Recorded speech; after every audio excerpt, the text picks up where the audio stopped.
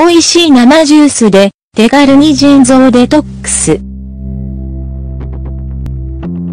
健康で生き生きした毎日を送りたければ、内臓に気を配り、身体にいいものを食べるだけでなく、時には体内の浄化を助けてくれるサプリメントを摂る必要があります。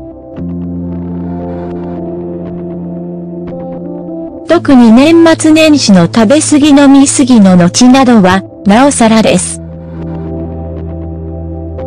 今回は、腎臓を浄化することがどうしてそんなに大切なのか、そして身体にいいだけでなく、びっくりするほど美味しい果物や野菜の生ジュースを飲むことで、どうやって腎臓のデトックス、毒素や老廃物の排出を実行すればいいかについてお話しします。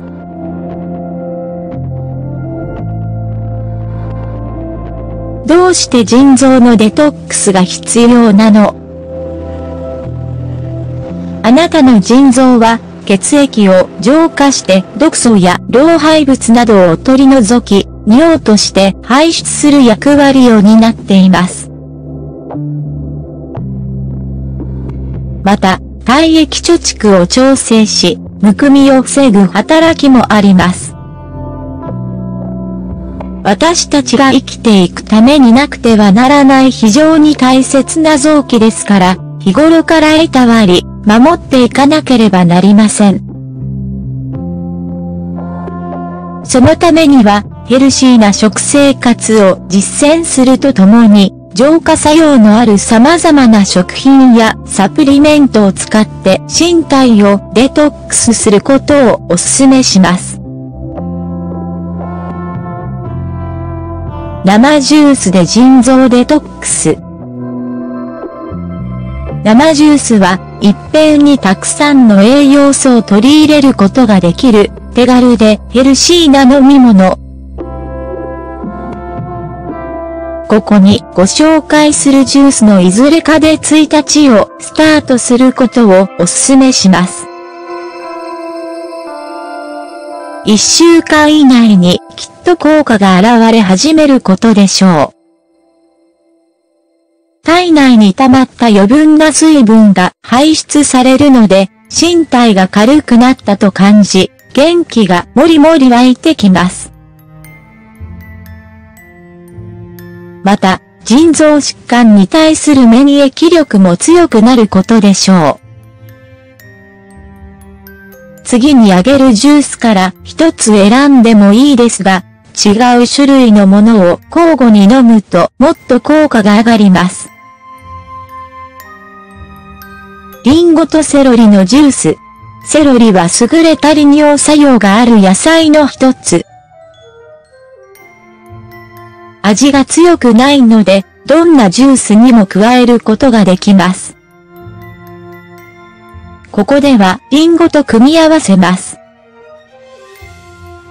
リンゴはジュースに甘酸っぱさをプラスしてくれるだけでなく、様々な栄養素があるほか、どんな食品とも相性がいいですし、腎臓疾患を軽くするのにも役立ちます。材料。新鮮なセロリ1本茎の株と葉も含みます。リンゴ3個有機栽培なら、皮付きのまま使えます。好みで、生のミントの葉に3枚を加えても OK。レタスとフェンネルのジュース。意外な組み合わせかもしれませんが、美味しいゆえに、身体にいい成分をたくさん提供してくれます。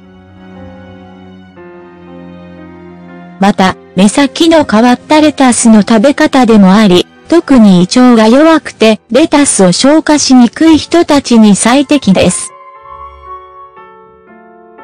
レタスには驚くほどの利尿作用があるだけでなく、神経系統を調整するのにも役立ちます。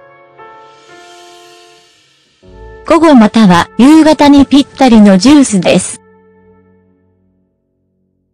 また、独特の風味を持つペンネルがほのかな甘みを添えてくれるほか、体内から過剰な体液を排出するのを助けてくれます。材料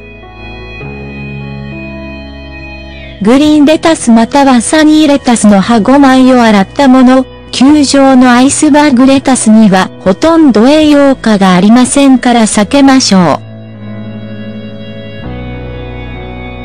新鮮なフェンネルの輪径1型。蜂蜜、小さじ1杯。トマト玉ねぎ海塩水のジュース。玉ねぎは腎臓に最も良い食品の一つ。このレシピでは、カリウムが豊富なトマトと組み合わせ、海塩水少々を加えます。海塩水は体内のバランスを保つのを助けてくれる天然のサプリメントです。海塩水は塩辛いですが、身体が必要とするミネラルをすべてバランスよく含んでいます。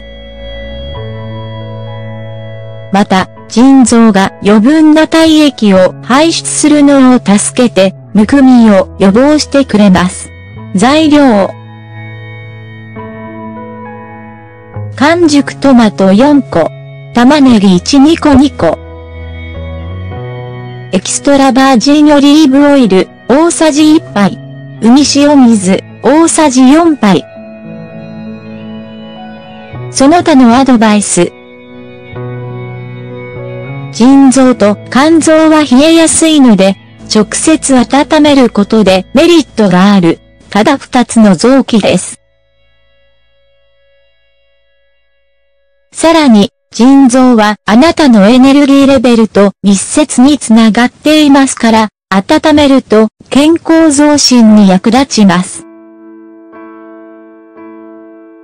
加温パッドか湯たんぽで毎日30分間腎臓を温めましょう。茹でたこんにゃくをタオルで包んで使っても OK です。いずれの場合も低温やけどにならないよう注意してください。特に寒い季節におすすめです。また、腎臓に悪いものを避けることもお忘れなく。これには次のものが含まれます。牛乳乳製品、白砂糖、医薬品、タンパク質、特に動物性タンパク質は腎臓に負担をかけますから、摂取量を制限しなければなりません。